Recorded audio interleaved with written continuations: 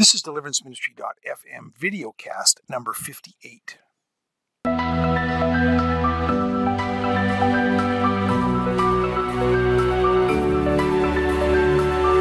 Hello again, everyone. Welcome to another episode of deliveranceministry.fm, where we give you proven insights about the demonic realm and deliverance ministry and even some Christian counseling topics so that you can wage spiritual warfare more effectively. Uh, once again, this is Dr. Don Ibbotson with Above and Beyond here um, behind the microphone, joined once again with my colleague, Dr. Phyllis Tarbox. Woohoo! It's good to be back in the saddle here on this yeah, podcast. We've, we've been doing some different things. We've had guest speakers, probably do more of that. We're always looking for input and insights on the topics you'd like to hear about. So we'll continue to branch out into different areas. But um, uh, but we're back together again here doing uh, another podcast for you. And this this the, the timing of this should be very. Um, I hope uh, should, should come out right. Uh, should be coming around around the end of October um, because we're going to be talking today about Halloween, the the the, the, the holiday, if you like, and kind of like Halloween for Christians. Like, what's our best response? How should we approach it? And yeah. it is one of those topics, um, even in the body of Christ, quite honestly, about how it should be approached. You know, mm-hmm. right? Some people say, "Hey, it's it's harmless, just dress up time for candy." We've so there is a lot of different uh, views on it, right? Yeah, Even in the body of Christ, go out as a bunny, go out as a fairy. It's okay. We're not getting into the demonic or Superman side. or something, right? Yeah, yeah. We can we can put a Christian spin on it and and make it okay. Yeah. It is, and some people it doesn't bother me. It's not real, and it's just you know they you know look look really just discount any spiritual side to it. So that's what we're going to talk about. We're going to share our perspective and, and some things about people I you know who who we've seen and talked to, and just caught up in the demonic and occultic realm. And you know, is this an open door? Is this something Christians should avoid, or what's what should be our best response? So we're just we're going to give you you know really share our insights, and and uh, that's really the purpose of this of, of this podcast. And so um, I think in general a good place to start is this whole notion of the of the, the, times that we live, certainly in this country, is there is just a real fascination with the spirit. Oh boy, right? I'll tell you what, it sure is. I mean, look at just look at what comes out in the movies or even on the Disney Channel anymore. It's got so much spiritism attached to it. It's it's overwhelming. Well, it is, and I, I, believe you know at the core, way God created us, we're we're called to to. Everybody wants to live a supernatural yes. life. There is a fascination, a legitimate fascination, a desire, spirit, spirit realm to right. be supernatural beings. I mean, you see it even in these Superman movies and mm. Wonder Girl, uh, Wonder, Wonder, Woman. Wonder yeah, Woman, that's Wonder, that's what I'm aiming for. there you go. they're, they're just this a life different on our own, really, what you call a supernatural life and it can be you know that can be it sounds like kind of the fun side super you know superman and superwoman and you know some of these other forget all the, the, the band of what's the band of five or six guys. Oh, I know what you're talking about, but I don't know. I don't remember offhand. Yeah. But you know, people Guardians of the Galaxy or something like yeah. that. Yeah, and so, but then there's the darker side of things too, and that's you know you can see the realm of demonic movies and certainly vampires. I mean, there's just a fascination mm. with that. Well, they they over sensualized it with like a lot of uh, relationship issues, you know, like love story stuff with the vampires to draw the kids in.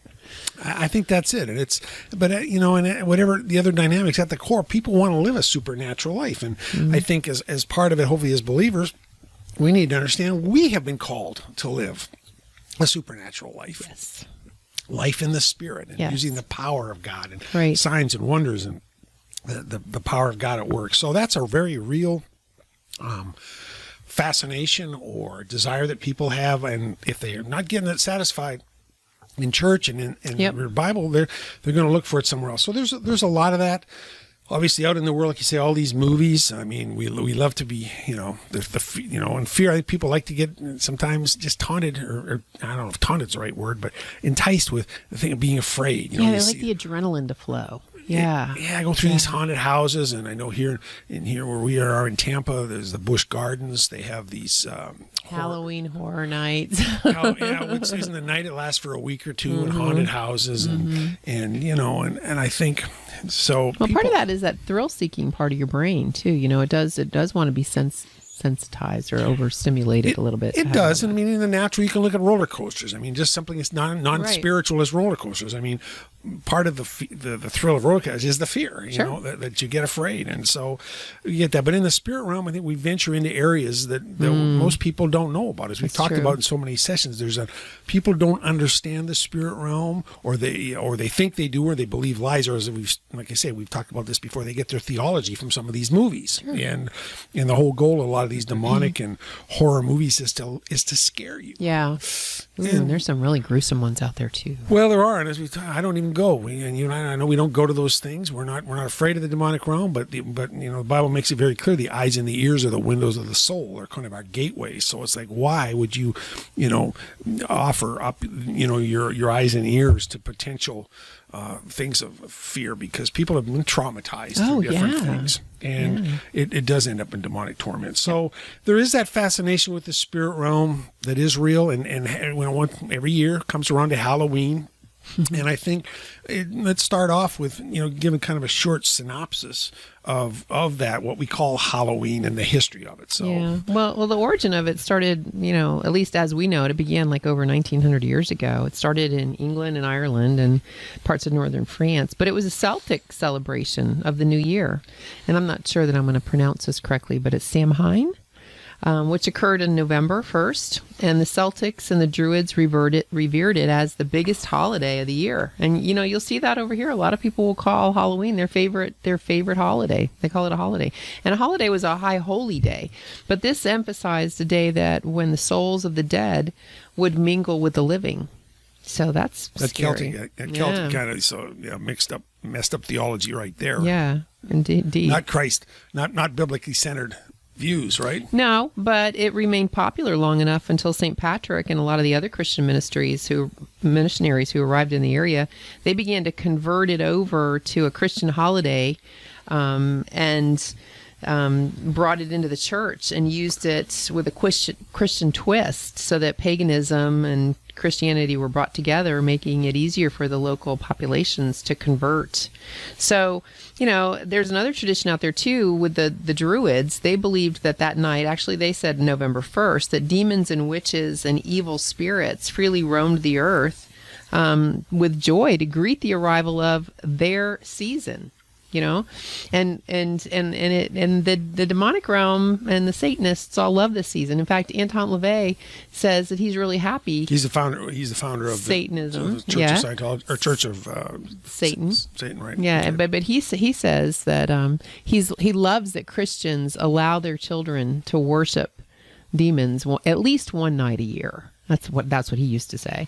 But the, anyway the, this season the arrival of the season the long nights and the early dark days of winter the demons had their fun with mortals at night frightening them and scaring them. And and it seemed like the only way um, that scared demons could escape the persecution of these the scared people could escape the persecution of these demons was to offer them things they liked. At least this was what they said fancy sweets and treats and then to escape the fury of the Milky creatures Way- Milky Way Milky bars. Way bars, That Heath sort of bars, yeah. Nice. yeah. Okay. in order to escape the fury of the these creatures, this is the part that I thought was fascinating. The human would disguise themselves. Get this as one of them and join in their roaming. Wear a costume. Yeah, wear a costume, and this way they wouldn't recognize the humans, um, you know, from a demon or a witch, so they wouldn't be bothered by them. So, so the the idea of it was for them to uh, blend in. Mm-hmm. But over the course of history, Halloween's practices have really changed with the culture of the day. But the purpose was always to honor the dead, and it was always veiled in fun activities. Is that why the I guess the preference you see so many ghosts, right? Is that the nature of the people being dressed up even as kids as ghosts? I mean, I'm a child years ago, many years, and not being raised in a Christian family at all and no theology or understanding of, of God or, or demons is man there even then and probably still is I would guess a preponderance of people dressed up as ghosts or you see the skeletons right Did you ever get dressed up as a ghost? I don't remember I I doubt it I don't I got remember. dressed up. My mom dressed me up as a witch at age five. wow Yeah, and yeah, so I see. uh, But I think you know we were drawn into a lot of that stuff too. Right, and I was, as I say, raised in a very good moral culture, but not a Christian culture at all. I mean, there's no concept or Well, understanding of the spirit more, side. I was raised in a good Christian culture, and they still dress me up as a witch. So I think you had a better foot up than I did. That could be. yeah. yeah. I forget a lot of that stuff. So what I wore, I guess I have no idea, but mm-hmm. I don't. Um, but it was the same deal, you know. Go out door to door, just collect as many treats as you could. Yeah, it was all about candy. Mm-hmm. I mean, as far as a little person's mind, that's all I was. And interesting though, for me, growing up, um, my brother and I always got sick on Halloween, and we could never go out. Mm. so I think I got saved from a lot of it just by just by God, you know. Yeah, but but that's you know that's pretty much the beginning of of Halloween and how it started. So, you know, it does have um, that ungodly theme to it at its beginning, but you know, it was also called All Hallows Eve, right?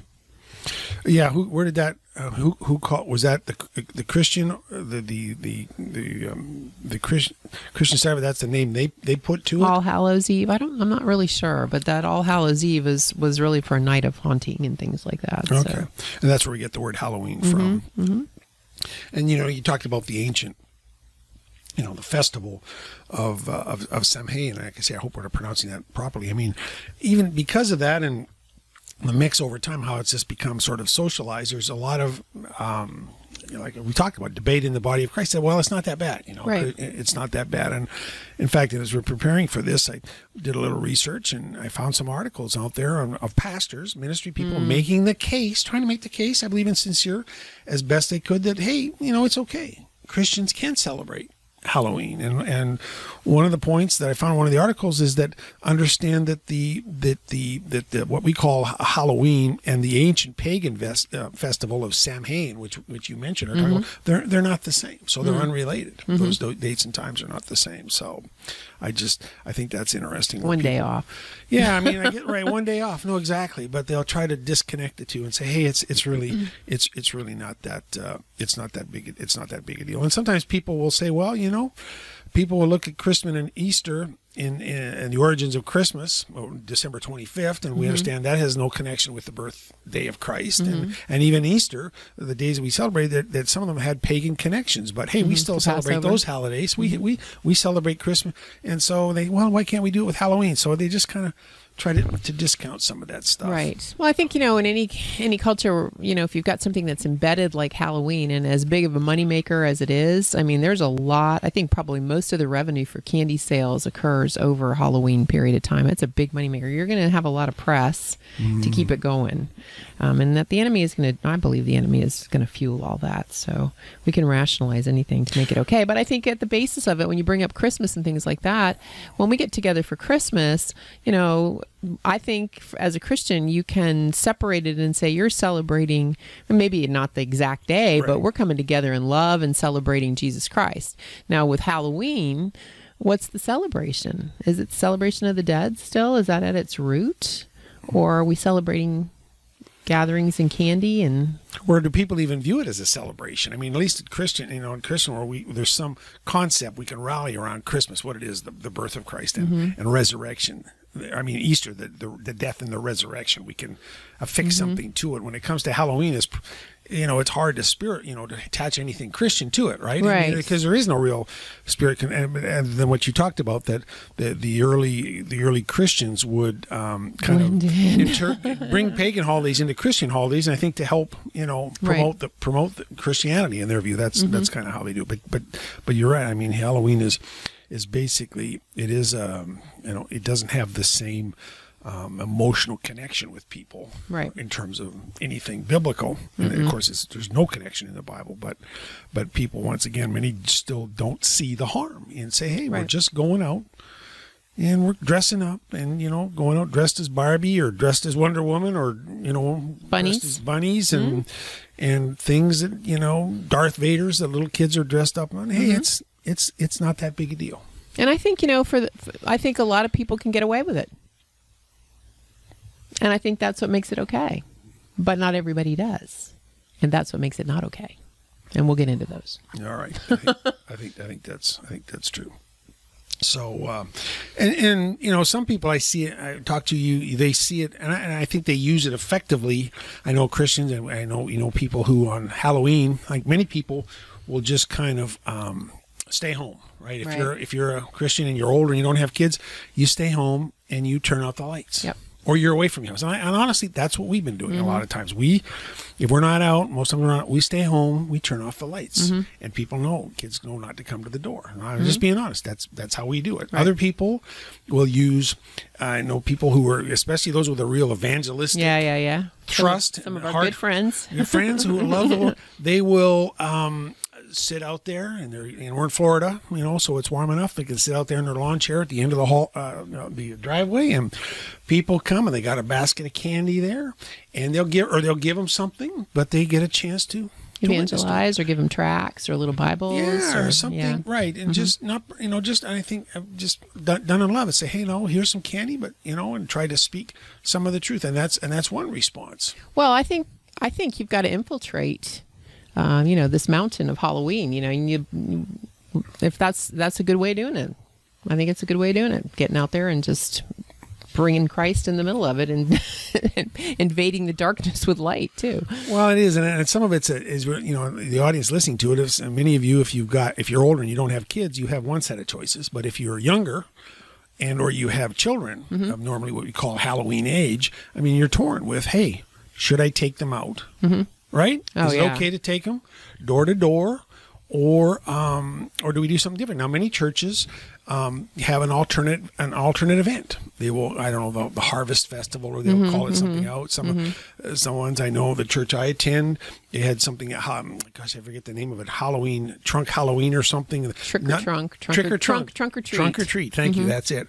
It wasn't Halloween night, but it was the Saturday before Halloween. They would have cars set up at the church, and people out of their trunk they decorate their cars and invite the neighborhood kids and come around, and they give them candy. And so, kind of an alternate event for kids. But, but even many churches I know, especially the larger ones, with the resources, the facilities, they will have a harvest night, even Halloween night. So the kids Yeah. go to the church and they celebrate. They have some sort of a heart. They have a, uh, you know, whatever. You know, it's been a long time, so my kids are older, so I can't speak to recent firsthand experiences. But I heard many that they go and they they have games. You know, Mm-hmm. the board games or little things that go around, and they get candy at some of these things as an alternative. Because the kids, so the kids don't miss out. Because you know, the kids in school, right? Sure. They go. To, they talk about Halloween, you know, and I think, well, I, well, I didn't go to Halloween. I don't believe in Halloween. Yeah. So they, at least they can give them some sort of a tool. Say, well, no, I got some candy. We just celebrate it differently. Yeah. And I think, you know, I think I think I'm torn on this because Halloween night, the actual night, is a high night where the witches and the warlocks do release a lot of their curses and a lot a lot of I would sense that out wandering am- amongst all of this there's a lot of spirits of fear and a lot of demons that are out there in the midst of the Halloween celebration. So if you're if you're out there celebrating, you know, and this a lot of this comes Kim if you read anything about Kim Daniels out of Charis- Charisma magazine or anything that she has on Halloween, you'll you'll get a whole litany of this. But but that's a night where there is a lot of stuff going on in the spirit realm. So you're saying organized, like organized cults and Satanists, Yeah. are doing proactive kind of ceremonies. and Curses. They're doing that. That's, Yeah, they're releasing a lot of the spirits. So then you got to wonder: is it something you really want to volunteer in? I mean, if you're if you're going to be a skilled spiritual warrior, certainly go to a church, cover yourself with the blood of Jesus, and take authority that way. But just to aimlessly go out and wander around on just a harvest festival night with your kids and not be proactive on it, I'd be a little concerned about that. are you talking about being like going out on the street, or is he Yeah. doing it in, like if it's a church or in a church? Because those are options. I mean, people can go out and say, "I want to pray the blood of Jesus," and go Mm-hmm. around with their kids, and or like I say, they can say, "Well, we're not going to participate in that. We see the dangers in that potentially, and so we're just going to go to our own little church building here, Yeah. and have our group of people there." Yeah. that." Well, I think you know if you're covered under a church and you you know the prayers out covering, but I still have an issue with that night. Uh, You don't want to be out with the night, night. Okay. the night itself. Um, I think like you know what you said. You know, have it on an off night. Definitely provide the kids an alternative. I mean, yeah, sure. They gonna they don't want to be deprived, but but you don't really want them out there on that night. I don't know. That night bothers me, and I have personal reason for that, which I'll share. But but yeah, the night of Halloween itself is Well, why don't you go ahead and share that? Because as you can see, there's there is great debate and passion. People in the body of Christ. I mean, I don't know. I Mm-hmm. don't have a strong. I just you know there, there's if we can agree that you know God, Hosea 4 6 says, God's people perish for lack of knowledge. Yeah. And I, what we don't know can kill us. Ignorance is not bliss. And so, for every person, at least if they understand the spirit realm, the spiritual dynamics, then they can choose and decide Sure. and, and in favor and faith and do what they want to do. And we've discussed some of these options, like staying inside, not taking your kids, or going to a church thing, or or doing something on a different night. There there are different options, but um, but yeah, I think this would be a good time. Why don't you Why don't you kind of share your own share my experience? share my Molly story? Well, you know, I've got two daughters, and one of them's a real pioneer, and the other one's very sensitive in the spirit realm. And when when I would take them out, um, they're only a year apart. I would dress them as bunnies and Hawaiian girls and little, you know, all sorts of little not scary things. Um, but I would still take them out on Halloween. And because it was something that I grew up with, and I when I missed out a lot on it, and I when I was like the kickoff to the holiday season, everybody looked forward to was a big night. We got all excited, um, but my little one just never bought into it. Um, she just wasn't. Now the older one, she'd want to go in and touch the dead person in the coffin in the people's houses on trick or treat, you know, night, and and she was, and I was like, yeah, let's go, let's do this, and she'd go in there and get the candy, and the little one would stay outside just shaking in her shoes from the time she was about three years old. She was not having any part of it, and she actually looked at me one night and asked me why I took her out. Do you not like me? Do you not love us? And I thought, what is wrong with you? Why can't you just be like a normal little kid? Well, my daughter, as we know now, can see lots of things in the spirit realm. And I think the, when you have a gift like that, a great dis- discerning of spirits. Very discerning. Yep, she can see things in the spirit realm. And um, when you have that gift when you're little, um, the enemy will use it to scare the living daylights out of you because he wants to shut it down. So she saw a lot, and she would not go into these places. Well, one year I got her dressed up like a bunny. You know, very easy. We happened to wander into a house down the end of the street. Well, I didn't know. Guy was a warlock, pretty well known one. She girls walk in. He's dressed in his warlock warlock garb. Meets him at the door.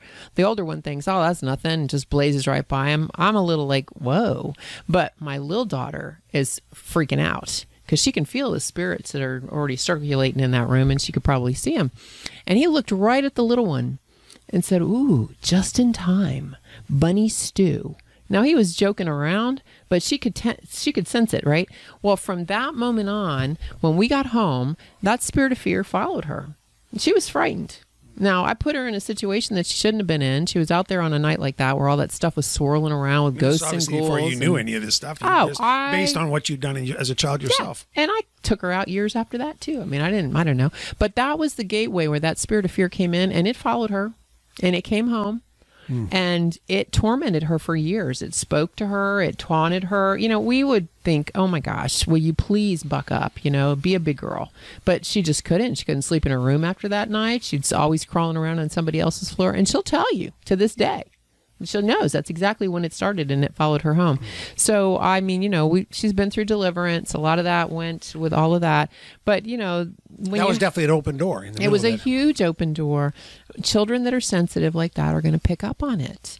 You know, they're going to pick up on stuff like that. So I think you have to just be really careful about having them out there because it is a high fear night. Just in general, that's the way people treat it. Like, you know, let's see how we can shock you. We're jumping out around corners and things like that. You know, like you said, people pay for that. But yeah, for years I didn't get it and I just discounted it and I wrote it off. But boy, I'll tell you what, when I when it opened my eyes to spiritual warfare and I began to get the understanding, uh, and then I started sharing it, and and her acknowledgement was like, "Well, yeah, because I've been going through this for years, and you've just ignored it," and I felt awful. You know, because I just really thought there was something wrong with her because she wasn't following along with culture. And you know, a lot of my a lot of people that I know right now say the same thing about me. Well, what's what's wrong with you? You have this whole idea about Halloween. You don't let you think it's wrong. Well, I'll tell you that's why because I had a lot of years of my daughter being tormented by by by straight up demons that followed her home because they knew who she was. Hmm. And I had her right out there in the middle of it. So I opened up that door for her. And that made me feel awful. Well, yeah, and it's like now, and years later, you have more insight, obviously, on, on different levels about the, the spirit realm that, that you didn't have before because of the work that you do. We do Well, yeah, and I mean, I don't, I'm not, I don't have self condemnation over it, but I think for parents, and I had no knowledge because I was trained that way. Right. But you know, okay, it's okay if you don't know any better, But if you now you do know, you're charged with the information. Are you are you going to bring your children out randomly amongst the crowds? Let's say take it away from the churches, just let them go out on the streets. Are you going to do that? Because I think you're really exposing them to a lot of things that they don't need to be exposed to. Well, exactly. I mean, we are not even going to get into it here, but the whole notion of, of, of jack o' lanterns and pumpkins, and you see some churches even selling. I mean, there's a whole history behind those as Yeah. well, right? There's an, an occult. So it's, but people like, well, we're going to put a smiley face on the jack o' lantern. Yeah. And so, I mean, you, you can really see this whole topic is just one where there's just, over the years, there's just been so much mixed, you know, the pagan side of things, and, and then there's an occultic, dark side of it, and mixed in with, you know, Christian Christendom and, and involvement over the years. I mean, people will look back and say, hey, you know, a lot of the, a lot of the, um, the uh, disguises or things people made have always haven't always been evil. I mean, sometimes they've been pretty like like you said, you took your daughter out in a bunny mm-hmm. years ago. Now it's lots of years ago. So, mm-hmm. but it's still the same thing. I think people, and and you can see we're just you know we're probably answering asking more questions are than we're giving answers here because as I think you said, Phyllis, it's a good thing. This is where time to think. We want you to, to, to Right. pray about this and get discernment where you are in your own family, in your own life. If you're mm-hmm. old, younger, especially, and you got kids, what are you going to do? What are you going to do? And I think it behooves yourself to to really do more research, do more reading from good sources. I mean, you know, we've got some good articles. You've written some articles Oh yeah, I wrote, on wrote- Halloween. yeah, a couple of them. Probably write on another this. one. Yeah. So, and there are other good, reputable places out there, and I think you you can sense our view is very clearly that you should that it's it really is a night to be avoided. It just you shouldn't be taking kids out. Our view taking kids out for candy. I mean, I'm.